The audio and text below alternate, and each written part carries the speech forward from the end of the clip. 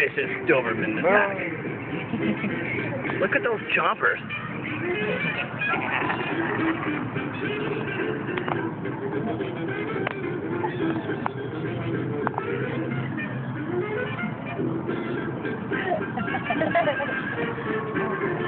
Not even caring.